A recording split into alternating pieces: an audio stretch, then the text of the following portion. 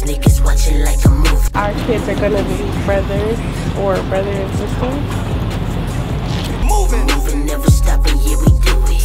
Got these niggas. I want you to invest in Miami. Yeah, you come from a small city, but you're a big time type of guy. You believe in God? Huh? Not having you is like I'm losing my mind. Blazing bundles really saved your life. And he taking up for the nigga with the little cornrows. You are for my sister? Listen, not even to be like fucked up or nothing, but you know how my nigga feel about you calling my phone. Got these niggas watching like a